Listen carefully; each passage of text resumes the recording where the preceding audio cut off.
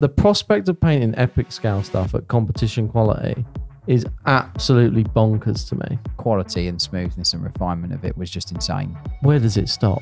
Absolutely mental. Like I, I just That's like wild. I didn't know that at all. That's someone who went, I've got this pile of shame. I need to just sort it out. If you're a long term listener of the podcast, you'll know how important it is to have the right tools to aid you in your painting. And if there's one piece of equipment that I could never live without, it's my Onyx lamp from Native Lighting. It doesn't matter what brush or paints you have if you can't see what you're doing in the first place. The Onyx is the perfect lamp for miniature painting because its super bright 2200 lumen LEDs cast soft and diffused light on your models without any harsh shadows. And its daylight balanced color temperature of 6500K gives you the confidence that the colors you are painting are accurate. As someone with a very small hobby desk, by far my favorite feature though is its articulating arm, which clamps to the side of your desk, maximizing your workspace. It's also super adjustable so you can sit comfortably in the perfect painting position without sacrifice. It also folds up into a compact shape, which is great if you like to travel to paint with your friends. To upgrade your setup and order yours now, head to siegestudios.co.uk forward slash shop or head to the link in this episode's description. Hello, everyone, and welcome to Paint Perspective episode 71. James has returned from one of the biggest miniature events in all of Europe, and of course, Golden Demon. We're going to get into all of that and more in this episode. Uh, but first, another little thing in your universe, James. It's all about you this week. I, I, I just want a caveat. I did not schedule this or uh, re- request anything. The the stars have just aligned, unfortunately. So, Uh, Warhammer Community done a whole article on your Blood Angels. yeah, I think um, that was probably the childhood dream come full circle realization. Uh, I'm still lost for words on it, to be perfectly honest. I got I got very very kindly asked by um, by Warhammer Community. Uh, if I'd like to talk about Blood Angels, and boy, do I like to talk about Blood Angels. James was Uh, like, nah, you should Yeah. really. I nearly Yeah. replied saying he's not interested. So nearly, yeah, Knowing Um, James, yeah, probably yeah. not. I, I, I'll Actually- save you the aggro. he talks about him too much. So he's not. I he's not up for it. I snapped at the chance like a piranha. Yeah, I uh, I very very very much wanted to do it. Um, yeah, so it was really really uh, sort of not super kind to to be asked to do that, and um, and yeah, so I, I think it was quite convenient the timing really because I think somebody mentioned in one of the comments about never not seeing any of my firstborn blood angels, and then conveniently, Oh, yeah, we spoke about that a few weeks ago, didn't we? Warcom came Yeah. along and provided an answer without me needing to, so it was quite good. I think the Yeah. the the f- James's firstborn Blood Angel army just became a bit of a myth. yeah, It was Yeah. like we spoke about it so much. There was never any pictures. You'd be forgiven for thinking that it didn't exist. But It there you go, full full Warhammer community. It does. I think one of the most nostalgic things for me was actually getting it all out to have it photographed for the article. Um, I haven't taken some of those models out of the case in probably about three or four years. They, they were some dusty cases, Joe. yeah, I'm yeah. tell you. the models were not dusty. The cases were. Yeah, Pro- I, I think. Um, do you know what? One of my most surprising things of that because I, I caught a glimpse of that coming all together um, when George was setting them up and stuff like that. Number one, I was quite surprised. Foam cases. I know. Yeah. From from James. Yeah. That's that's how old they are. I know, He hadn't yeah. realised he hated them yet. Yeah. it's a bit of an ick. yeah, it's a bit of an ick, Yeah. Yeah. yeah. Um, yeah. So that that brought you down in my estimation because I thought, oh, you know, we're better than that. We've we've spoken about that. No, I actually I use phone cases, so I'm, I don't know what I'm talking about. But the uh, the other thing was the funniest part about that was that George kind of had like what he thought was the whole army. I don't know if you remember this. What do he thought was the whole army on the table, and he was like, "Oh, is that all it is?" kind of thing. And then we were kind of rummaging around, and we were like, "Oh no, it's." That box, that box, it's in here as well. Actually, oh, there's a couple of dreadnoughts in here. It was like Yeah. It was another like two times. There what- was a moment already where out. I was like, we've been talking about this this prophesized like Blood Angels army for so long, and then I get it on the table and it was like 30 models. I was like, is that it? And yeah, then James was like, oh no, no, no. Gets like two more suitcases on the table. Yeah. yeah. yeah. Yeah, sorry about that. Uh, yeah, no. So getting it all out was um, was really nice actually because I, as I said I haven't seen some of those models in quite some time, uh, and it actually made me realise that I've painted a lot more than I remembered, which I think was quite good. I think you if you often do that, you f- f- when you paint armies and stuff, they go back in the case or storage or whatever, and then you you kind of forget how much you actually done of it Yeah, or yeah. put into it. So Was that so? That was a mixture of like competition entries you'd done over the years. It was a tournament army. Yeah. There was your heresy army as well. Yeah, so there's the Heresy Army. Um, there's obviously the Firstborn Army, and then there's a load of my comp pieces as well. So yeah, so it was just an amalgamation of There's a lot of the more recent primary stuff you've done, like Yeah. for GW previews and Yeah, things like that as well. those. Yeah, yeah, yeah. Um, That was quite good. Yeah, it was cool. I liked that it was just an overview of everything. Yeah. Like there was it spanned Yeah, so many like different like a couple different eras of releases. I that was really cool. Yeah, And, I- and two different game systems at least. yeah. No, I, I really enjoyed getting it all out, and, and obviously having to write up and uh, text and information about it and what it means to me and stuff. It was really just again really really nice and super humbling to have the opportunity to do that. Um, and sort of like I don't know, sort of like not solidify, but kind of like date mark. Obviously, my love for the chapter and for those Mm. miniatures, which I think was quite nice. So so yeah. When do you reckon you'll have enough to fill a Warhammer community article on your Blood Angels, George? 30, 27. yeah, no. I I, thought like you were going to say 30 years' time, and even then I was going to be like, are you sure? I don't even know what the biggest army I've painted is. It might be the Emperor's Children, Emperor's Children. Army. Children. That's that the biggest Siege one. painted for Tabletop Tactics. That's the biggest one that I've seen. You too. You Yeah. The um the There's probably some rivaled the orcs are pretty big. sizes. I've done a pretty big. fairly sizable orc army. That was mostly vehicles. It was like a cult of speed thing. Yeah, yeah. In terms of like amount of painting and like hours, that was probably very, very similar. Yeah. But the model count is a Looking lot at the model lower. count on the Yeah. table, yeah, Yeah. probably the Emperor's Children, right? Yeah. probably. But then, like similar to you, if I actually went back through like my Lightroom catalog and added it all up, it's probably. I mean, I've done at least five or six armies of that size, and Mm. then Mm. a scattering of, you know, smaller projects in in Mm. between. It's probably way more than I think it is in my Yeah. head because you just sort of, especially like you said, like if they go in a case and then they go in the loft or something, or go to clients. In our case, then not that you forget about them, but they're not like super fresh in your mind. Yeah, you don't they? remember So everything about them. Yeah. Yeah, I agree with you completely. What was the process like for sort of writing up the article and all that Do you know what? then? I, was uh, well. I was given like a. I was was like, it needs to be about X amount of number of words, and and really what it was is in that limited amount of text, it was trying to summarize everything about not only the collection but also why I like the models and then my favorite points and that kind of stuff. So I think It's I, like going back to school. We had to do like a Blood Angels essay. Yeah, Yeah. it was really, really. Yeah, it was. It wasn't as easy as I thought it was going to be because I I think I thought it was going to be easier because I could just sit there and just talk about Blood Angels forever, which I can do. But like, but talking about it and writing about it are two very, very different things. So yeah, I just tried to do like sections about like a little bit about painting, a little bit about characters, a little bit about the, the why, like the lore, the background. You know, like uh, a bit, bit more about painting. So I kind of just tr- tried to splash a little bit through all of it, and it just kind of explained a little bit. Um, and also throwing a bit of childhood because I thought that was quite important as well. Just like Yeah. how you know how I got into it and why why them and all that kind of stuff. So yeah, but yeah, ma- massive thank you again to Warhammer community for letting me do that article. That's really really super super super humbling and like a little tick box on the old bucket list from when I was a child. So which is which is good. Was you um one thing I'm curious to is because it's like, you know, competition season, so to speak, with Demon going on. We've announced Iron Skull for next year, obviously. What was looking at your past competition entries again like? So they are the only things that I actually look at frequently Oh, okay. out of my collection. Um, they're the were thi- probably out on the shelf already, right? Or something. Are they're home, they yeah, displayed at home then? Yeah, they're displayed Yeah. at home, and like, I think that they they are the things that I always look at to look at how if I've improved or if I've done, how I, even in some cases because I jump between different things, uh, projects, obviously painting armies and doing armies and bits and bobs, and then going back to doing a bit of comp painting and all that kind of stuff. Like I have them out quite a bit just so that I've got reference uh, really to sort of like what I've done previously, and even down to, like, to, certain things like before I kept a journal, like color choices and all that kind of stuff. So, so yeah, so they're the things I keep out. But yeah, I look at them enough to know that obviously the first one is not as is, is worse than the Right. next one and the next one and the next one, so to speak. So yeah, Do you keep older models around, Joe? Yeah, actually, funny enough, like obviously I haven't painted armies and stuff like you guys, but I can still echo the the sentiments what you're saying because when I was moving recently, I, I, it actually caused me to go through a lot of like boxes and stuff, and I found like fully painted models that I just completely forgot that I'd actually painted. I think in my head I'd only ever finished like three models or something, and I was like, oh, I've actually done like More. there's quite a few here. Mm. Like, um, I don't really have any like on display or anything at the minute.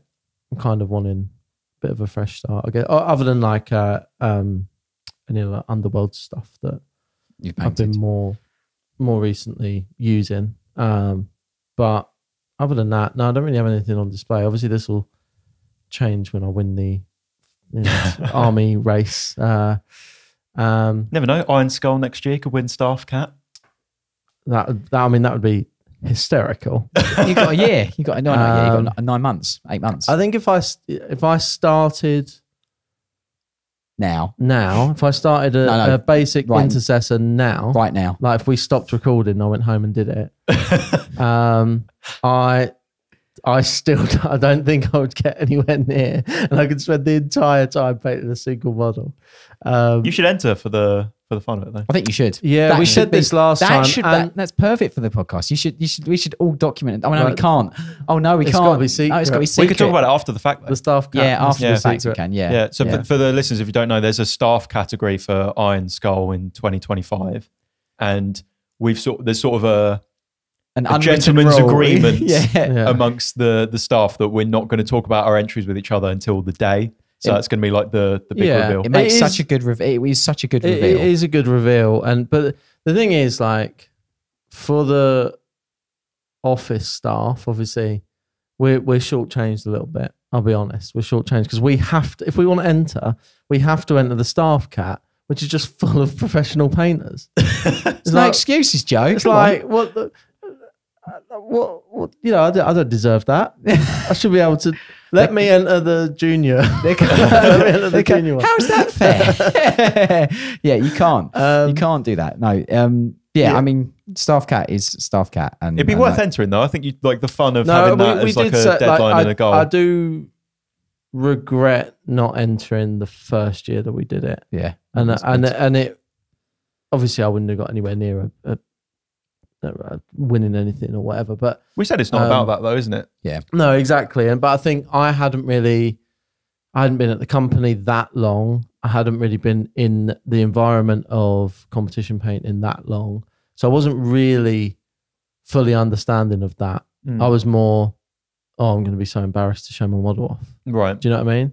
And being honest, at the time, I would maybe still feel this way a little bit now, but at the time, I was a little bit concerned because I was the only office staff member at that time. at yeah. that time Yeah, that would be were. entering. So I was the only non professional painter that would be entering. And what I didn't want was that there was less of an understanding of Siege as a company and its size. So maybe less of an understanding that, yeah, there's office staff as well. And what I didn't want was people to look into the staff cat and see my thing and be like, what that that's that's one of their painters like they're charging you know they're not the cheapest in the world and that's what you get in for a competition entry I get that. Yeah. So I, was a little bit concerned about that because there was no other. I was the only one. I was the only person You in the are. company Yeah, you were.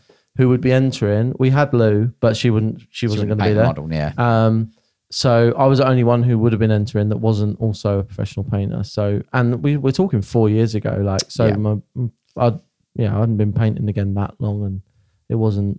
So no, Definitely wasn't so at- no excuses for 25 then. Yeah, it wasn't at a point where uh, I'd be happy for it to blend in amongst the crowd. I think at very least, but um, so yeah, that was a little bit of a concern then. But I do, uh, yeah, I do, I did almost instantly regret not entering. I think you should. Um, Because that moment, like when we, because the, the whole thing with it, as, as you mentioned, Joe, is like once we set up, there's a bit, a little bit of time whereby we can. We've got It was the night before on that one. I think we spoke about it before. It was so funny. Yeah.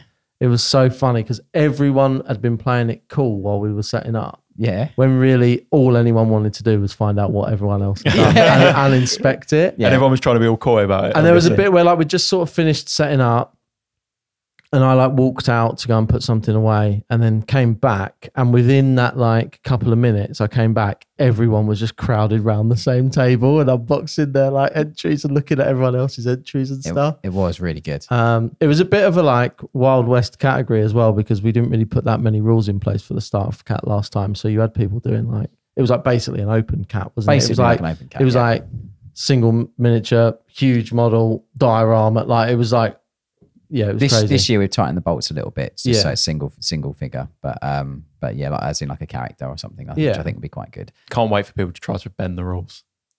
You know that's going to happen. yeah, Yeah, it's not going to happen. please don't. If any of the team are listening, please don't. Please don't. No. It's hard enough to run the event. Well, if it's anything, anything like our patrons in the, uh, In the- challenges. yeah. yeah, rule bends are not allowed Yeah. for staff cat. Yeah, yeah. Um, but no, it's uh, yeah, it'll be fun. It'll be really, really good. Um, I'm looking forward to it.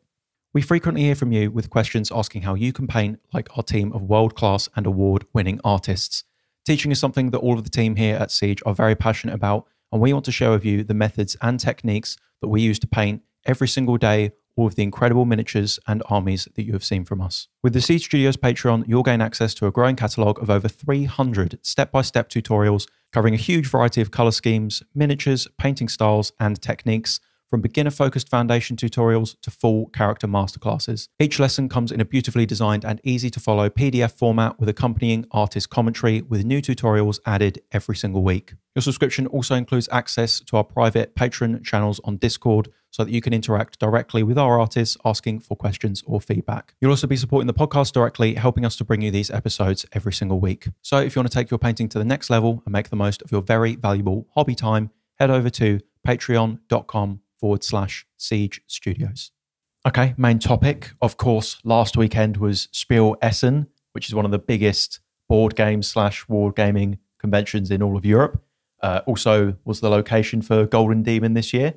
James, you was our man on the ground, so to speak. Yeah, I didn't take the uh, the, the the fluffy microphone with me, unfortunately. But um, we should have done like um, we should have like called in and done like a weather report. That would have been good. Yeah, I think. Um, it would just be me in the middle of a massive crowd that you can't s- hear me. yeah, we could have. We should have tried to do some kind of live stream of like James trying to do it on his phone. Could we have done it with the really awkward delay and pause in between as well? Yeah. Like, James, how's it looking out there, James? yeah, it's been a really great show. I do have uh, quite a few shout outs today, uh, purely because I was mobbed by people uh, uh, throughout the course of the four days saying various things about Siege, Iron Skull, and obviously the podcast. So without further ado, oh, he's got a list. I've got a list, yeah, because I think we just cut to like the names scrolling like really fast, like like, uh, like credits. so, so shout out to right, and moving on. No, um, so there was Martin, there was Rob, there was Sven, there was Kevin, there was Renee, there was Jens, there was Erica, and there was Bart. And uh, you all were very, very kind to come over and speak to me about various different things. Um, and I just want to say a big thank you for doing so because it was really nice to chat to you about miniatures, chat to you about obviously what you're at the convention for. Most of the conversations were about Golden Demon, obviously, and just miniature painting, which was great. Um, but it was really nice to know that like a lot of you listen to the podcast while you're painting and that you enjoy the content that we do. So yeah, I just want to say a big thank you for coming over and saying hi. Uh, and I hope you had a great, great convention and great Golden Demon. Nice. Um, we'll get to Golden Demon in a bit. Do you want to give us like an overview of the actual event? Because I've never been personally. It- so It was, I nearly didn't come back because I got lost. like, so, so there how comparable is it to, for example, in the UK we have UK Games Expo. There's obviously like Adepticon in the states and whatnot. How so is it compared to those? is bigger than Depticon, um, but it was like UKGE times four. Oh, Um, really? Yeah, it, Okay. there was like seven or eight halls, and I'm not. I'm kidding you not. Like, there's a Galleria part, which is like where all the food vendors were. It was like it must have been at least three, four hundred meters long, like with like glass ceiling. Like it was crazy. Like it was absolutely massive. Um, uh, yeah, like Here's where the Germans in the comments are like, actually, it's 307.2 Yeah. meters. yeah. I mean, you I can was going fact. say, I love that the, the thing he's mentioned most so far, like the, the shining thing he wanted to mention was the food hall.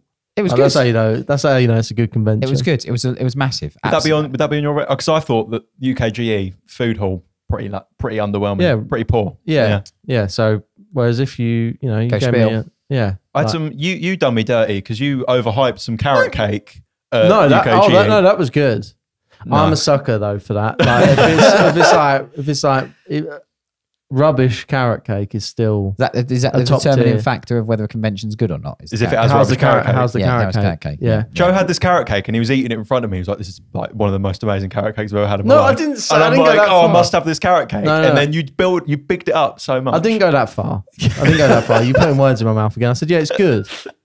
I said it's good carrot cake. Well, For a convention, I don't know how- how- in Birmingham, it's a good carrot cake. I love that Birmingham is the factor there. like Birmingham carrot cake, easily worse than. Uh, Well, it's not known for well, its carrot cake. if that's is anything, Birmingham? if the, if the carrot cake barometer what was is it? What was a carrot cake like? There was no carrot cake. I'm not going. can No, you eat but- carrot cake vegan? Uh, I think there are versions that I Carrot, can eat. carrot. Yeah. It's carrot. Yeah, Carrot's but the fine. cake might have butter in it. But, you know, They anyway, love, they love carrots.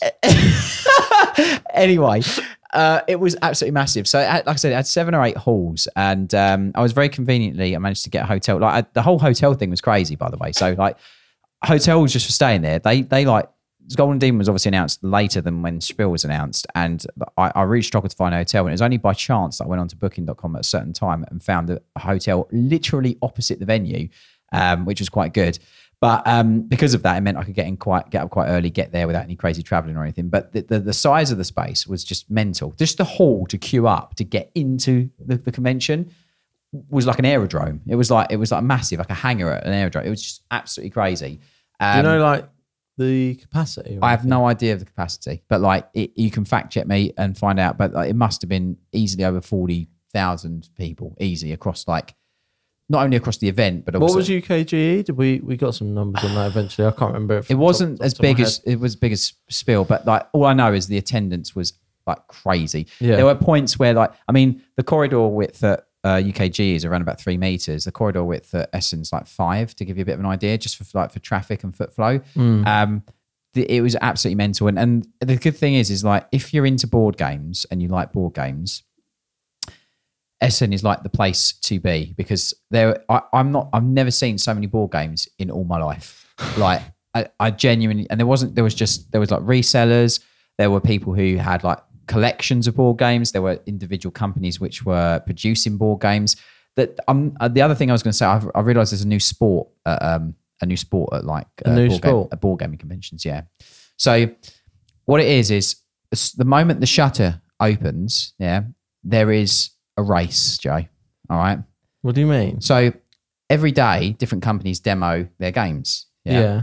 So what happens is people look in advance to see what company is demoing what game, and it's almost like the Olympics, like a, a running event. So when the shutter goes up, people are like, What's a sprint to their favorite game? "Yeah, yeah." You, I, I swear, I saw someone in spikes. This is Right. like you get this at gigs where people want to get like to the front. Front to the front, yeah. It's not not a bit of me that No. Yeah. I can't be. I'm not running. What you wouldn't be like camping out the night before, waiting for. like but that, it almost reminds me when I used to work in retail and the Christmas sales were on. Like I remember one year the shutters went up and there was a guy who literally limboed under the shutter as it was. Yeah, oh, you know know those that. crazy Yeah, like- videos from like ten years ago you'd see in the states of um, Black Friday. Black Friday, people Yeah. like mobbing a shopping mall. No one was Yeah. fighting. Just to confirm, if you go spiel, no one's going to punch you in the face Yeah. for you get a ball game. But like, I had, I had to look it up by the way. So it's two hundred thousand capacity at Spiel, yeah, and UK Games Expo is sixty five thousand. yeah, So it's like three, almost four times. times the size. it's it is mad. And um, yeah, like I actually the, the first day, like because obviously the main the main hall that I went in was I think hall one, which was like where all the wargaming and ga- uh, wargaming stuff was with like Golden Demon and GW and like various other companies. Um, I, it took me like about an hour and an hour and a bit just to find hall one. Like I'm not kidding you. Like I love that. Like, it literally took just me. wandering around. I was honestly. He's got like Google Maps open, but he's inside the venue. So yeah, but the thing is, is it, it, well, you laugh, but it was nearly as bad as that. I had, for some reason, when I landed in Germany, I turned my phone off, turned it back on. I had the worst signal ever for like the first day. Um, so I, the, but the the one good thing that I found out about the convention after the fact or near towards the end was that they they actually have like a, an app for the event that allows you I to. love that you found out. Oh, that has like a live view It doesn't. It, it, on the map in the app. it- no, not a live view. No, it's not that. It's not that good. I See, wish it- more wish it people need to get onto this Yeah. for event stuff. I went to um, Colchester Zoo probably a couple of years ago now. Um, not really a fan of zoos in general, but I got roped into it, so I went there. um, but they have you open the app and it opens up like its own like native map of Yeah. the zoo, and it shows Shows where you where you are are, on it, yeah. like you're on Google Maps. Yeah, didn't have that. Every convention should I do think that. a lot it of, probably um, costs so much money. I think but- a lot of um, like small festivals and stuff do that as well. Yeah. Yeah, Like I mean, it may it may well have done, but my my net was not working very well. Um, it- That's it- probably Net. the main issue. Yeah, with it. yeah. Net. See, he's dating himself yeah, again. there we go. The net. the internet. This is this is the board games. Uh, sorry, this is the computer games and video games thing all over again on the net, on the World Wide Web. on the World Wide Web, on the Wi-Fi.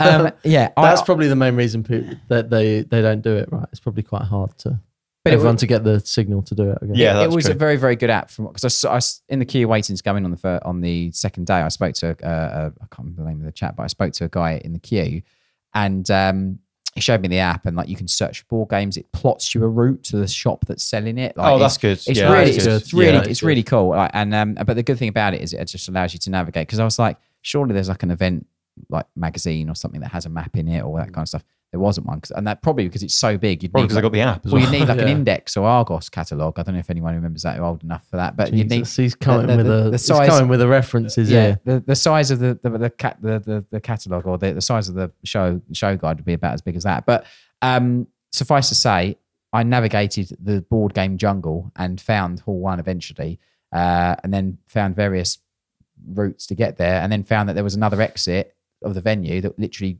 was from Hall One. So then I never need to go through the whole convention just to get to Hall One again. I can't wait for So- the comments from people who were there who tell us that there's like a 90 foot sign that says Yeah, like, Hall Oh, One no, this no. way. so easy. there were yeah. there were above each door as you go through from hall to hall there was a giant thing but it didn't didn't really show you where the it's too big a sign to zoom in and see all the different like entrances next suffice to say i found my i I found my way around at the end um Any but like highlights from walking around, sort of stuff that was there? there's a lot before you there's, got to there's, Hall One. there's a Any lot highlights from the journey? Wandering. there's a lot more board games than i ever realized that there were um Or just full stop? yeah full Yeah, stop just board general. game. There was Who so- knew? There's a few of them. so many it was unbelievable I, I agree with that. To be fair, I get that because it's like you don't realize how many independent board Small games there print, are. Yeah, limit, there's so so It many now. is especially crazy. especially when in this day and age like a one man company can Hmm. produce something like that yeah, and events and stuff like that is their sort of bread and butter Kickstarters really, and isn't it? things. yeah Like, it- you, you don't you don't realize we had it before where we jokingly on a single Oh, yeah. episode we jokingly mentioned what if there would be a Worms miniatures game and what and, Star and then like a Star Trek kill team type thing. Both of those things exist already. Star, Like, Trek, Star Trek away team and then worms the game isn't it Yeah, So, yeah. But we said that on the podcast, like, oh, how fun would that be? No one would ever do that. And then everyone's Yeah. like, not only is that a thing, but here it is. It's really we were high pitching quality. it. We were we were pitching them as games that we would want. Yeah. I Yeah. believe, by Yeah. the way. And then it turns out, oh, they exist, by the way. Yeah. So I still haven't bought them. that's So- that's an exact that's an exact uh, example of that. Yeah, there, there's loads. yeah, but it was it was absolutely eye opening. Just the um just the level of of stuff that was there. It wasn't just. I mean, obviously, this was known as a board game convention, but there was people selling swords, lightsabers, artwork. Um, I'm assuming it was like cosplay swords. It wasn't. yeah, oh yeah, there was definitely a few Jedi and Sith walking Yeah, but I mean, yeah. like, it wasn't like you could just go there and buy like legitimate Katana. oh, you can yeah. buy a lightsaber, yeah. No, you- no swords. The real, the real world. I'm Yeah, not. ta- yeah. Why, is, why are you going to lightsaber every time I say it's- sword? the- you could, but you could buy legitimate swords as well. Yeah, not. not I gave real- him like three opportunities to, to get Yes, what I was Joe. saying. and he You- kept, you- you he can- kept saying lightsaber. because it's still a sword. But you, you can you can buy legitimate swords and He's stuff doubling as well. down. That's Yeah. literally him doubling down. not a Just sword. there. Of course, it's double down. It's yeah. not a sword. It's a saber. saber is a form of sword. But It's a yeah. lightsaber. anyway, yeah, there were sellers of, uh, that were selling all manner of different things uh, like like that, like swords and weaponry and all that kind of stuff. Obviously not real, but uh, but yeah, um, That's all I was asking. yeah. That's all I was asking. You got your answer. originally. You originally. got your answer. Um, you do get a lot of that though, didn't you, at those conventions? yeah, Yeah, yeah, yeah. You do. It- it- especially like the historical stuff. Hundred percent. I, I would absolutely recommend uh, Spiel to anyone. I think like if there is, I'm quite confident in what I'm about to say next. Which if you're into any form of ball gaming, war gaming, uh, even cosplay, any geekery kind of stuff, you can find it there. It it was crazy. Do you think Um, that there's enough to do there for the weekend that it's worth traveling, especially for traveling like? well, I got lost on the first day, so so so yeah. But you know what I mean? Like sometimes with sometimes with those events because they're so physically enduring to walk Mm. around a lot, especially and especially they're very very busy and whatnot. And obviously, at the end of the day, a lot of it is just shopping. Really, do you feel that if you was say elsewhere in Europe, it's worth traveling to still? Yeah, I think so. Yeah, I do. There, there- was a lot of really good things to do there on the day, um, and just like you, the, the time would pass by so quickly if you're going from uh, like from location to location, just just trying different games out or look at stuff. Even looking around Demon, like you could spend ages doing that as well. Like it was, it, it was absolutely crazy. Um, So I think did Games Workshop have like a whole they had a there? whole booth, yeah. They had a whole booth, obviously with Golden Demon on it. And the thing that I thought was really, really great was that you had Golden Demon in one like long, long sort of chunk, and then next to it you had like you'll paint your first Warhammer model right next to it. So it's almost like here's the starting point, and then here's like the apex of where you could reach. So it's a so someone could literally paint the first Space Marine or Stormcast or whatever model was in the box of painted of uh, undercoated models ready to go with uh, with paints and stuff. Or I guess if someone was a passerby and they weren't too familiar with it, they could see the stuff in the cabinets, and then it's like, oh, how can I have get a go started yeah, vice and then it's versa. right there. Yeah, it was Yeah. Re- it was honestly really really great idea to have those two things next to each other, just so then that way you can you you can see both ends of the spectrum and, and get a good understanding of what's actually involved. Um, but yeah, it was uh, it was really funny. I was by the cabinets, and uh, obviously the exact thing you just said. Someone was walking by, and I heard them say, "Oh, I think all these models are for sale." I was like, "They're definitely not for sale." so, so like, Well, some of them might be. yeah, maybe afterwards. Yeah, Equally, yeah. there's probably some of them there like you couldn't give them enough money to, Yeah, to yeah. take off my hands. yeah, There, there was there was some really really like really sort of like great sort of conversations that, were, that I was overhearing of people when I was at the cabinets about sort of like the just they were like in awe of they'd never seen anything like it as well, which was which was amazing. Um, Do you think that's probably a benefit of hosting it at other events rather than hosting your own event? I think- for, for the I- I think Golden so. Demon side of it. Yeah, I think so because it means that you can like drop ship the what what that is in various different places and, and So if you're saying it's mostly a board gaming convention, then there's going to be a lot of people there who don't even know what Warhammer is or care what Warhammer is. no, but they'll I've be never familiar- seen a model painted to that level before. No, no, exactly. But they'll be familiar with miniatures from the board games and stuff. Yeah, and yeah. there's a nice Yeah, kind that's of like parity between them. So, so, um, but yeah, no, it was it was honestly like a really. I was blown away with the convention. I, I, I, I, I genuinely have no reason to to to to not go back. As in, like I'll go every year. I think it's it's that good. You know. Nice. Um, so so yeah. Do you want to walk us through your entries, uh, maybe like one by one, and Yeah. how they did? Uh, first one was uh, Milo Marti's model. So I've done a bit more work on him, just done a couple of other bits and bobs that I wanted to, to sort of finish on the model because I didn't really get a chance to do it just before. Obviously, we I painted it obviously for the preview day when he came out, um, and uh, there was a few little things that were niggling me.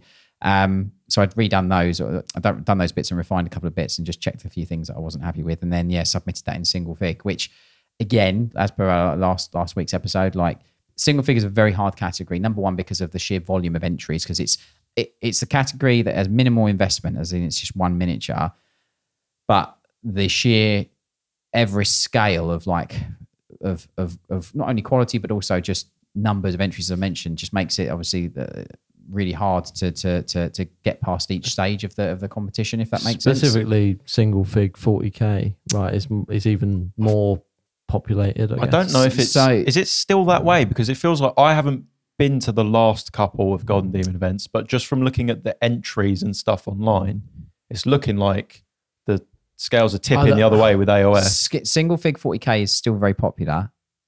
Uh, Age of Sigmar or Fantasy is absolutely hard. Like it's a Yeah, no, I, I know it's hard. I'm just saying, amount of entries. I still feel like single fig 40k is probably the most popular one. You probably get them more as there's probably, and again, uh, I, I can't quote factual numbers here, but you'll probably probably have more entries in 40k single fig, but but Age of Sigmar, the the scale creep of quality is probably higher. I would say. Do you think that the quantity of entries is getting more close between those two, between 40k and Mm, AOS? I, I I- for me, looking around the cabinet, I I think you got more in 40k, but yeah, more. so still noticeably more in 40k. Still, still, still noticing more in 40k, I think, but I think what you what you get in fantasy, as I said, the caliber is is tougher. Um, yeah, but then the top end of 40k fig is still extremely tough. yeah. So so yeah, um, but yeah, so I entered him, um, and then I literally because I, haven't entered vehicle before, I, I grabbed my my um, one of my my contemptor from my heresy uh, Angels Army just because I really love that model. Um, I had no no sort of like I haven't, I haven't put anywhere near in anywhere near what I put into the Novartis into it, and um, and I just wanted to enter vehicle because I've never done it before. So uh, so yeah, so I entered that, um, and I was really really like blown away by getting like uh, notable because they've got a new award which is like a notable entry card. So it's uh, it's it's less than finalist, but it's it's been sort of picked out because it's of a s- X standard or whatever. So it's like as if to say you almost made finalists. Yeah, it's yeah, like a yeah. nod. Yeah. yeah, it's a really nice, it's a nice, lovely, lovely card as well.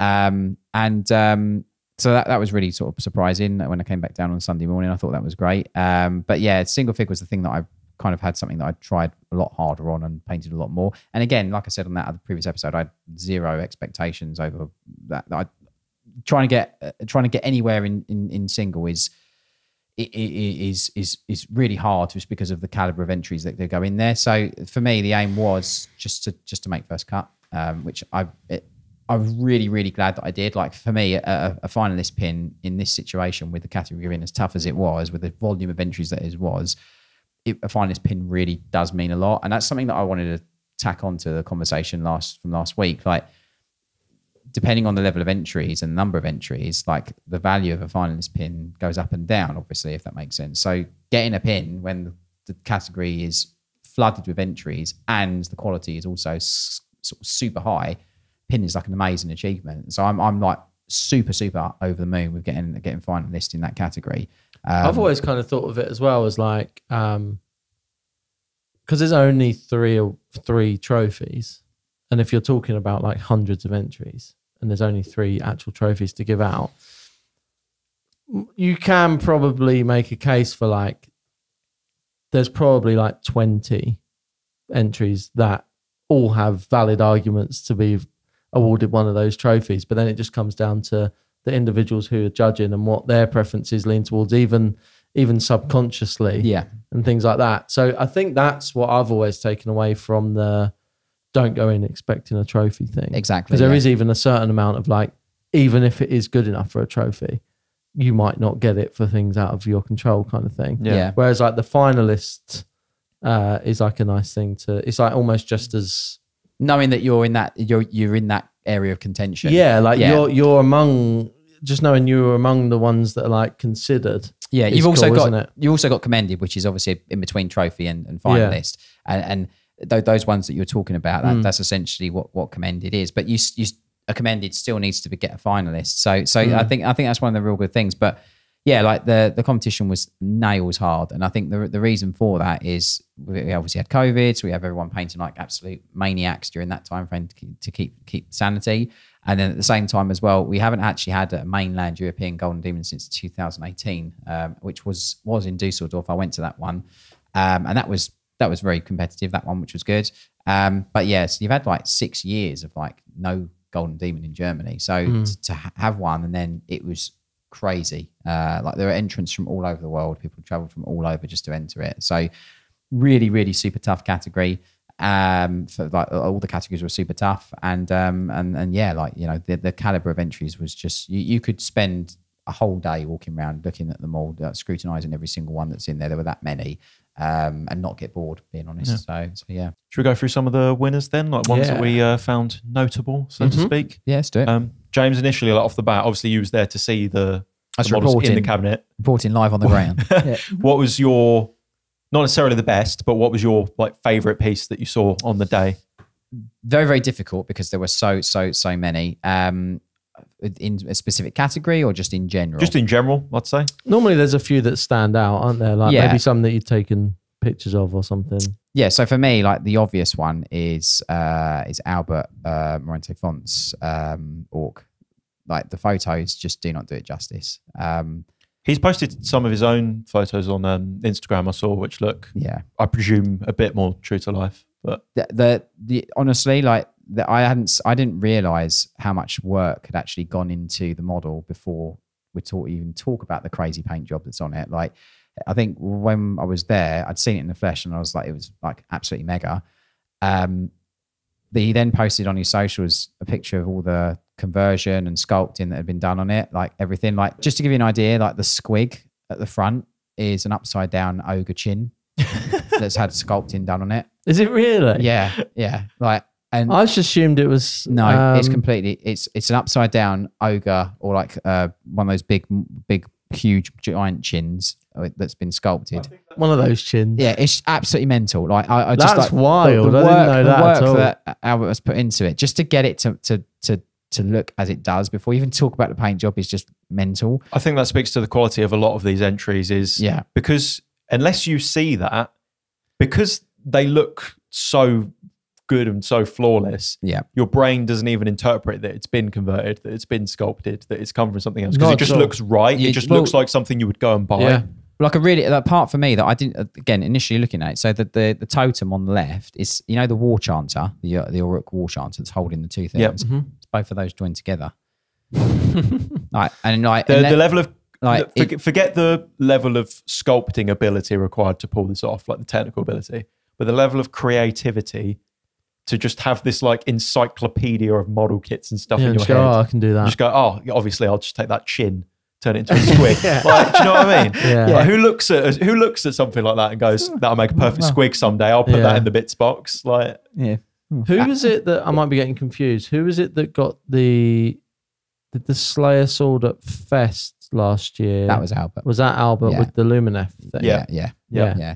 Yeah. So he's he's won gold in single for the last three years. in AOS. Yeah, because single. he done a Goblin. There was this really cool gob- little Goblin model. Then it was the uh, Lumineth, Mm. and then it was this this guy. yeah. Um, but yeah, like it just it like I think I saw the photos of it either at the airport flying out or when I landed. Or I can't remember exactly when, but yeah, um, it, it was just nuts. And then then Dave Perriman's. Um, uh, they were all the uh, for some reason all the Age of Sigmar ones for me were the ones like that was the other that was obviously Dave. I one, do. but- I do think Age of Sigmar, and specifically for one reason or another, I don't know if it's just because competition painters tend to enjoy them and do them, so they more of them are painted to a higher level. But like specifically, like yeah, those like Troggoth type or Orruk type things, like Fan, yeah. those kind of fantasy orc type things, just seem to lend themselves so well to competition painting. They're they're- the models themselves, before we talk about the paint job, the models are just so extravagant with details and like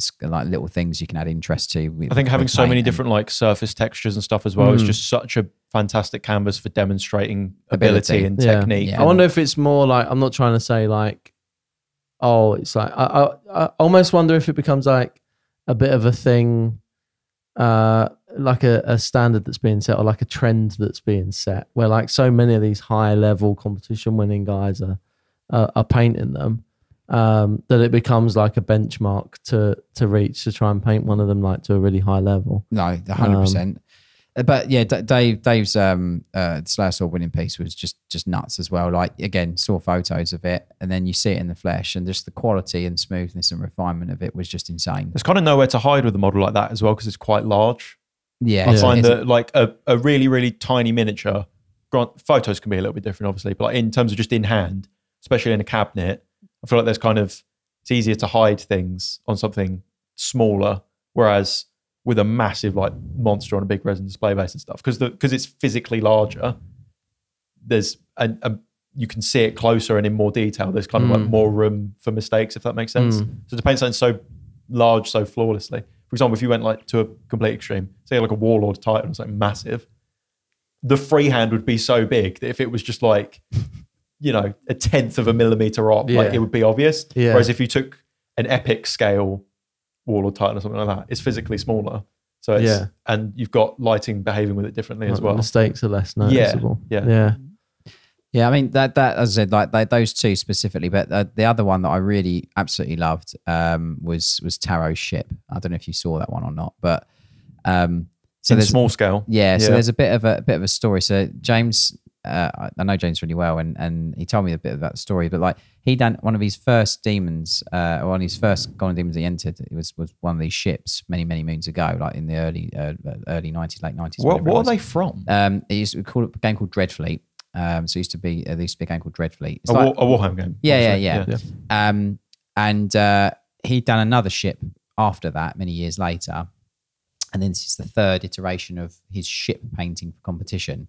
Um, and like just the way, like the, the water, I asked him about the water, he'd done the water and stuff, like all the waves and like the amount of work that went into that, the, the, the level of freehand on all the sails are freehanded. The, the rigging as well, he made all the rigging. So like these ships don't come with rigging on like the game model. So he's made all the rigging with like rod and like it. Telling me about bending the rod and like molding the rod to, to look like it's got tension or slack. Like it's just it, it like as a piece, it's just absolutely nuts. So like and seeing it in the flesh, again, I got there on the Friday, and some people have been on the Thursday. So some of the models have already been entered, and people posted their photos online once they'd entered them, etc. Hmm. So like seeing them on the photo and then getting to see them in the cabinet was the, the- it was just amazing to see the different like to see the, the sort of like you you like it in the photo and you're like holy cow it's amazing you sit in the flesh and you're like wow that's even better than I thought it was going to be like you know from the photo um but yeah there were some amazing entries and obviously every category has its own nuance of like of, entries like obviously small scale epic scale Small scale had some really fun entries this year. I really liked um, Gregor Pilarski's drop pods drop pod. yeah that was cool Which uh, Joe, I wonder how that ranks for you. I know that you you see pilots and stuff. You're like, oh, he's like the little guy in his little chair. You think it's too Yeah. cutesy for Warhammer. Yeah. Where do you Yeah. land on epic scale stuff? Oh, what epics? No, no, no, that's fine. Epic scale Okay, is because like, I, oh, I feel it's like this too is like, oh, it's a little dreadnought. He's if it's a little epic scale one who's then a pilot in a tiny little ship, then yeah, maybe we've got some problems. But, right. um, Uh, no, epic scale in general, I don't think it's inherently like, oh, it's all tiny and cute. I've never, I've never painted epic scale, and I got really, really excited when the Legions Imperialis stuff dropped, Mhm. and it's been on my list to to do.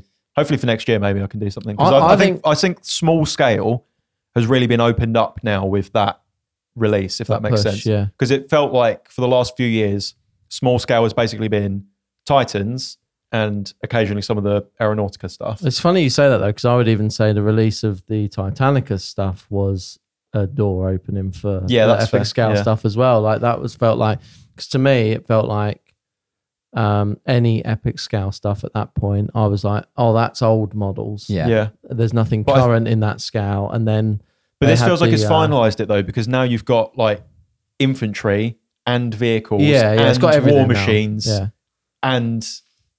the We've got the flyers aeronaut- as well. So you aeronautic kind of got stuff. like everything. Yeah, from a yeah. game. I would love. I'm still yet to see. I would love to see like a really really cool diorama utilizing like. I do think all on of the, the flip systems. side to what you were saying about the larger models and how mistakes are so uh, much more visible on larger models and stuff like that. I do think there's something to say with the epic scale. Like the prospect of painting epic scale stuff at competition quality is absolutely bonkers to me. Like the the The level of How refinement. perfect the everything has to be. Yeah.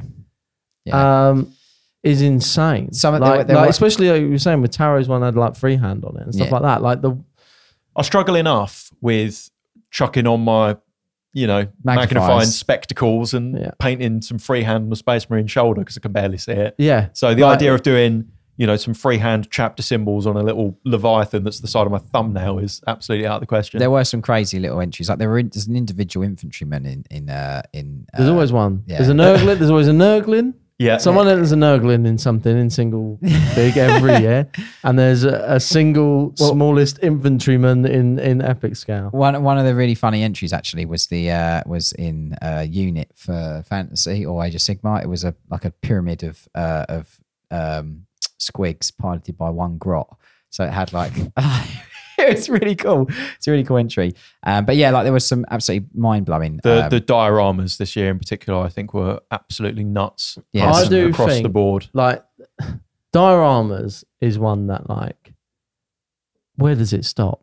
yeah. It's just getting like, it's crazy, isn't it? Like the amount of work going into certain ones. Have you seen any of these on on socials at all? Because I've seen some of the. I've only really seen the the Warhammer official images. To be Oh, okay. honest. right. Okay. um, I saw um, Pavel's diorama on his Instagram, That's and it's that is particularly one of the ones I'm talking about. Yeah. Yeah, where it's like when you see it unpainted and just like the mess. Yeah. there's no better word for it. Yeah. of just models and uh, mass. How can you even get your head around it to bring it into such a like coherent, incredible thing? That's It's- someone who went. I've got this pile of shame. I need to just sort it out. Yeah. what can I make from this? Maybe that. Yeah, that, there's your hobby hack for this episode. See, this is where you're through going your- wrong. You're seeing your pile of shame as a pile of individual miniatures. You Yeah. need to see It's it actually as a one diorama. Thing. Yeah. Uh, your pile of potential is actually your next. Is actually your Iron Skull uh, diorama entry. Yeah. um yeah it's uh it- it's just like i can't even begin to like some of it even though i'm not at the level of these painters i can comprehend what goes into painting a single miniature to a really high level.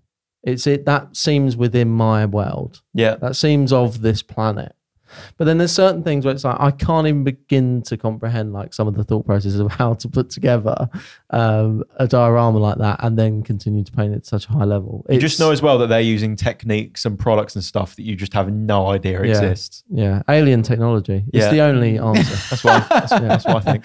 yeah, Yeah, I mean, like there, there were some really, really impressive uh, dioramas and things. I'm glad you're moving the screen as you are because we've got to go back. The young bloods category, like, I mean, I remember. They're, they're starting to show us up now. the yeah. young This bloods. annoys like- me. This annoys me every year. like the the the young bloods category is always interesting because, like, I They've think crossed the line now. I think. Yeah. Where Too we need to we need to like hold them back a bit. All right. we need to push the the age get the, the age down. Yeah. I think. Yeah. it, it is honestly really, really nice to see the, the sort of the entrance in young bloods because that's like it's always exciting, isn't it? Yeah, when you it see is. like who wins, or if you when you see the the award ceremony for the young bloods, and you're thinking, oh, this could be like the future. next. Well, that's, like, yeah, you yeah, say that, yeah. but like a lot of the the heavy hitters in the competition scene now who have won, you know, multiple golds or Slayer swords or whatever. weren't entering. You look at them on the you know the compendium or whatever, and you can see oh back in 1996 in the young bloods category they got the Yeah. first. We're kind of seeing that now. That's what. I'm saying. Yeah, so like, like- future tense, these names will probably pop up again. That's why it's exciting, like when you see, yeah, the the the awards ceremonies and stuff like that for it. the next Yeah. like miniature painting prodigy Yeah, could be it- right under yeah. our nose. Yeah. it is, and and and like, I think that category is, is had a, re- a load of really good entries. I mean, the winners were fantastic, obviously for the for, and I mean this in the, the with best way possible for the age and for the amount of years painting. The quality that's in there is just it's just exceptional. Like it really George is. just zoomed in on one of them and turned around to me and shook his head. yeah, he's like mystified at how good it Can't is. Yeah, believe it. yeah. Um, but yeah, no, they they were really really good, and um, Specifically on these three winners, by the way, like even just the comprehend, like the understanding of like light placement and volumes and stuff. yeah, They're on plinths. They've savvied up. Do you know what I mean? Like I was me. I, when I was, I don't know how old individually these these three uh, they've got to be under, winners are. under sixteen. Under 16, yeah, but I don't know how old specifically they are. yeah, but that, that yeah. could be 15 or it could be nine. yeah, at any given point under that age, I was slapping paint on my models straight from the pot, just gooping it on. Um, with no even understanding that you could potentially actually just paint it nicely. Um, meanwhile, you've got uh, yeah, some of the kids doing some some great work. I I, think was, I that- wasn't even painting at that age. like, Yeah. let alone winning competitions. So- Yeah. I mean, the, the other thing that's really demonstrable in this about how far the sort of like the progression has come, not only in painting but also in composition, is like uh, uh, Henry's the first, the the, the winner, the, the chap who got gold. Like he's obviously put it on the plinth as well, but just like just like the composition of it and the way they've done the base and like it, it just it's just That wouldn't look out of place in the main category It's- at all. it's None not of them re- would. really- Not I don't the think any of these three. Not in the slightest. yeah. You wouldn't see any of those three in the cabinet in like the main comp and be like, "Oh, was that in the wrong?" Oh, did a child enter this? Yeah. You wouldn't Yeah. be thinking Oh. Exactly. excuse Yeah. me. You've got one of the children's entries here. Yeah. Uh, no, absolutely not. You wouldn't. they were they were tell. phenomenal, and I think that's one of the things that's a real good sign of like where painting and miniature painting is going, and the competition scene is going, is like the caliber that we're getting even at that entry point, and I, uh, that's that's something that I really really sort of like like seeing at the competition, which I think is great. Um, but yeah, overall, it was just a absolutely fantastic uh, event, and uh, the caliber of the entries, as I said, was just out of this world. So so really really well done to all the winners. Um, loads of there's like can you imagine like the amount of hours if you added up the amount of hours of, wa- of effort and time that have been put into all those entries like, all collect- entries. collectively i know there I think over, people discount as well the like planning time and Yeah. the like. It's not like someone just goes, uh, "I think I'll do truck. Yeah, we'll get that. We'll buy that from GW." Like it's not like a flippant decision. Like there's Yeah. planning, there's sketches of compositions. Like it's a multiple stage process. There's a lot of, like, even hits for- the model. For some of these like top guys, there's a lot of like working out color schemes in Photoshop, like painting over the the Yeah. the model images Yeah. and stuff like that. Like, and you're not seeing the pieces that they probably spent 50 60 odd hours on and then got to a point where they went no this isn't it chief and then Yeah. binned it and started again Yeah. do you know what i mean Yeah. so you don't see the i said this funny on the on one of the Patreon hobby hangouts is you don't see the failures of people's work you only see the the stuff that is like the result of those if Yeah. that makes sense yeah yeah um because it can be two things golden demon can't it? it can be really really inspiring or really really disheartening depending on like what lens you look at it through I, look, I haven't entered it before, but the I, I've what I have seen with with like the people that I've been with when we're there and seeing obviously friends enter and stuff like that is that even when it doesn't go the way that you wanted it to, I don't think I've ever just seen anyone be eh, so disheartened that it was like a negative experience. Yeah. Normally, there's some positive element. Perhaps in the moment you're a little bit upset, but then Exactly, afterwards you yeah. go, I learned a lot. This piece was great. Here's Yeah. what I'm going to do next Don't time. get me wrong. I imagine for some of the like top top guys who are like expecting themselves to be in the conversation or win or whatever, I can imagine that they view it slightly differently. That's fine. Uh, For those, you know, the ones that have been doing it for 10, 20 years and and all this, um, they might view it slightly differently, especially the ones where it's a profession for them and things like that. But in general, I'm talking about. Um, I think it's quite rare people come away and are, are feeling particularly like down on themselves about it. Normally, Yeah. there's enough else going on, and it's been a nice social weekend. Do you know what I mean? Meeting everyone and chatting to people. So, um, yeah, I'm gonna maybe enter Ryan's goal. We'll, we'll get him there. Don't worry. Have you got a favorite character from a book or piece of artwork and thought to yourself, if only that had a miniature? Custom Service is our character creation brand here at Siege Studios. Custom Service is not just a kit bash. We create miniatures using traditional hand sculpting alongside conversion for entirely unique and bespoke miniatures that will blow you away. Our talented team of sculptors methodically and meticulously bring your thoughts into reality with the precise, refined, and sharp work you'd expect from a digital sculpt and pair that with our world class painting team for an incredible display piece you'll be proud to own. To bring your character to life and get a quote now, head to siegestudios.co.uk or head to the link in this episode's description. Okay, next up, we do some monthly painting challenges in the Siege Studios Discord.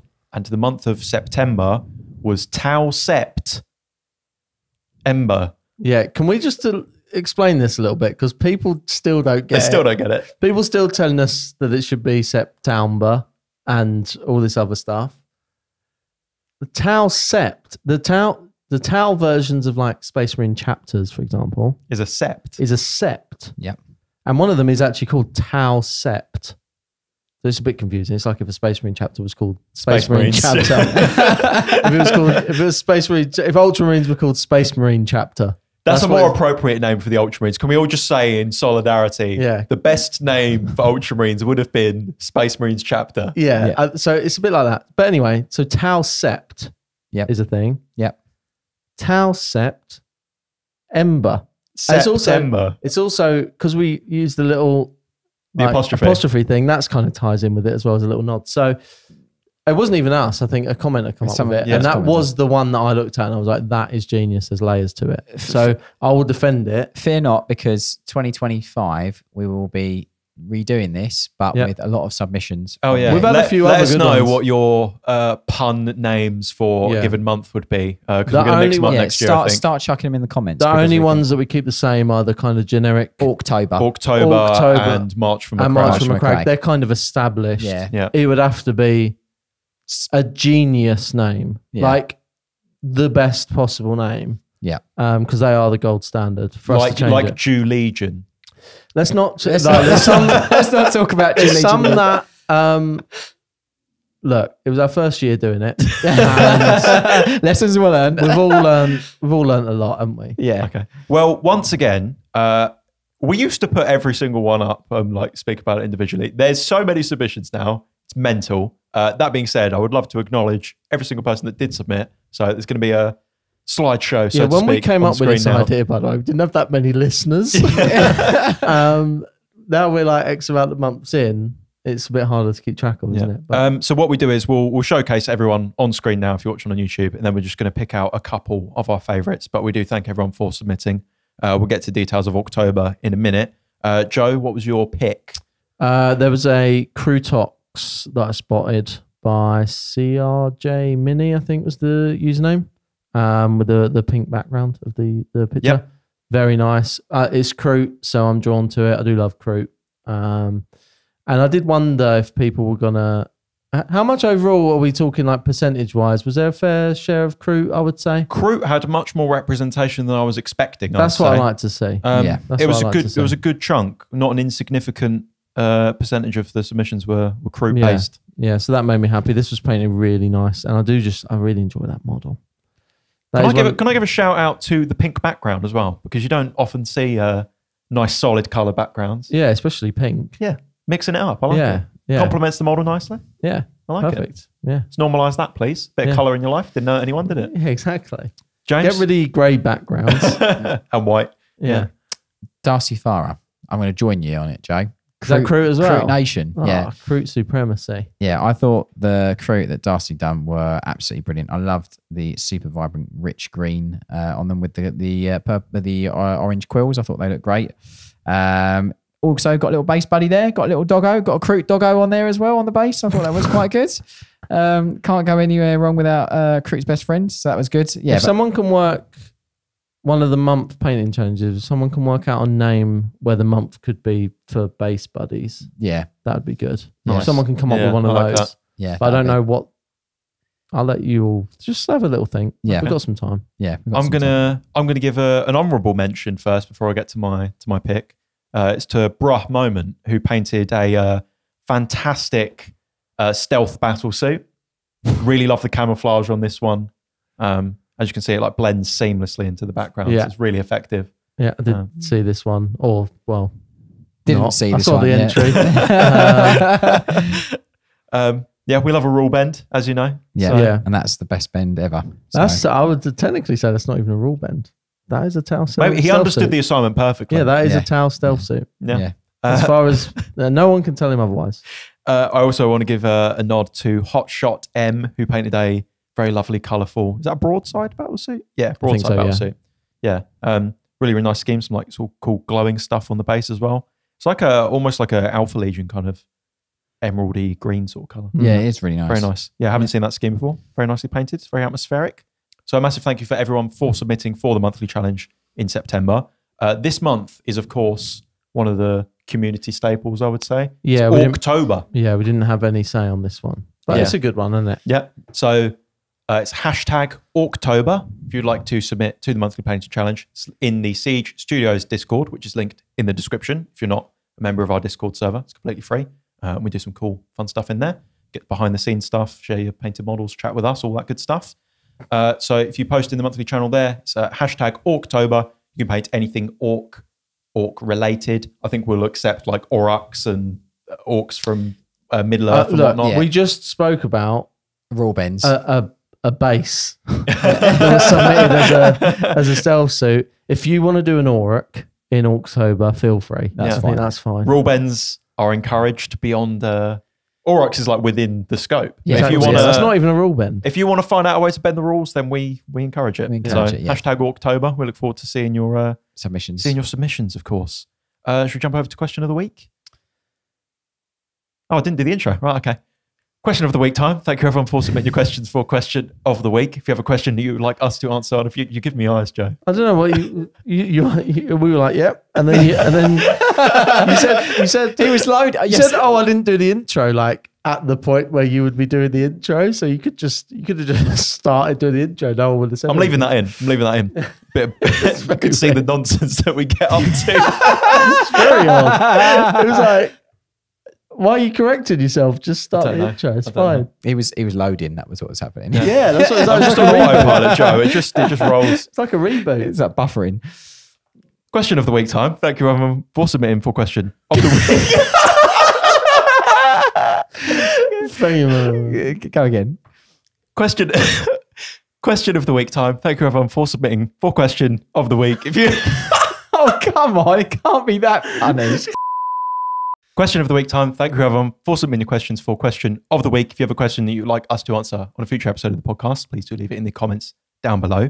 This week we have a question from Carl LM who says, "How do you know if you're ready for competition level painting?" you never know. Throw caution to the wind. Paint something you really love. Paint it the best you can. Enter it, and hope for the best. I don't think you can ever not be ready.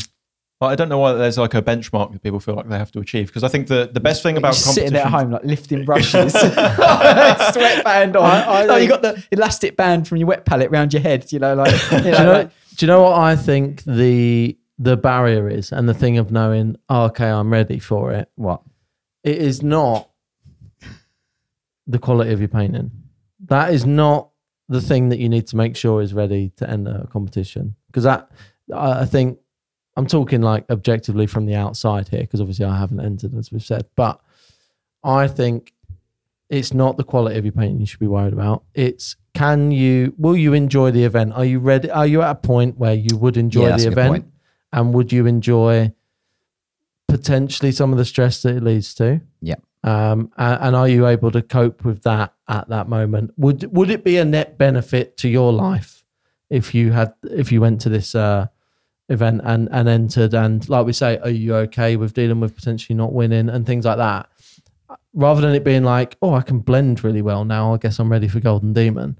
I think it's actually understanding the the event and are you personally ready to experience an event like that? I think the same thing would translate to like gaming tournaments and stuff. Yeah, yeah. Yeah. We spoke before, like last time at Warhammer Fest. I like saw Boxy in the morning, and he was all like chipper, and we were like, "Yeah, you're right, mate." Yeah, yeah, yeah. I saw him ten hours later after, or whatever, like eight, eight hours later after three or four games, and he was like shattered. Do you know Yeah. what I mean? Um, and it's like, are you ready for the actual yeah, Experience. the, the actual experience of the event and Yeah. the social uh, needs that it takes and things like that? I agree with that. I think you could extrapolate that as well and say I think there's potentially a lot of people at those events who are very, very proficient painters who aren't necessarily in the healthiest mindset that you just spoke about. Mm. Um, and I think as well, it's about like, are you at a point in your painting where you're looking to improve and push your skills, and you want to start have a piece as like a learning process for that? Yeah. So I think that we've we said on the on last week's episode like about for us the best thing about competition painting is what you learn improving as a painter yeah. um, meeting other people, getting inspiration from all that stuff. So I don't think it's about the the trophies. Um, Unfortunately, for some people, it is, and it stops there. But if you look at it in that way, then I think anyone can be ready for it. Yeah. And it's like levels of competition as well, because like Golden Demon obviously has a very very high standard, but there are open competitions where you're just basically just judged on the merit of the quality of your work Yep. rather than it just being a bronze, silver, or a gold winner. Um, and then you've also got like local competitions at your hobby shop and things like that, uh, which are a lot more, you know, localized. Um, I'd encourage you to enter as many as possible. Like the thing is, and the other thing I'd say is that like your expectations are only as high as you set them, which I think is something that you should really, really like understand and just take that into consideration. Like if you paint it and you go to the event and your expectation is, well, I painted this amazing thing. I want to, I'm going to, I, I expect to win, etc. Like the moment that doesn't happen or something doesn't go exactly the way that you hope it does, you are setting yourself up for a downfall. So by just thinking, I've done the best I can. It's in the cabinet. I'm out. It's out of my control now. If I get something mega, if not, I've painted a great thing. I'm really proud of. Job done. Like I think that's something like you are completely all this stress and worry and if you're there and you're anxious because you've got this mindset of I want to win, you know, all this, like, you are the complete cause of that. It's only you that's creating that for yourself. Um, whereas if you just go with a bit more of a sort of like I, I've entered it, I've done what I can, and now it's in the competition's hands. Does that Yeah. make sense? You know, I'm So- obviously also I'm going off of the basis that if you're even asking this question, you are probably at least at a point where you have like the fundamentals down. yeah, Do you know what I mean? Like, yeah, I'm not saying, you know, slap some contrast on a thing and take it to a competition if you. I mean, you can if you want, I suppose. But Yeah. um, I think if you're even thinking about this, your painting is probably at a level where you're comfortable to exactly. to put yourself in that position. So it's the it's the other stuff really Yeah, Yeah. for me. Okay. Uh, on that note, I think we'll close it out there. Uh, massive thank you for listening to this week's episode of Paint Perspective. We're going to jump over now to the Patreon bonus post show of the podcast. So if you want to get more podcast content from us, check the link in the description of this video to our Patreon. Uh, you'll get ad free extended episodes of the podcast, in addition to hundreds of PDF and video tutorials, which are updated every single week. So check the link uh, for further details on that. Otherwise, we will see you next week. Can we talk about the thing? What what is this thing that I don't know? That's an annou- annou- was it an announcement? Or what- James, James had a bit of an epiphany uh, at GD. yeah. is it to do with the, it's to do with our painting challenge, our army painting the challenge. army painting challenge? Yeah. Yeah. Oh, so it is. Yeah. So I'm, I'm right.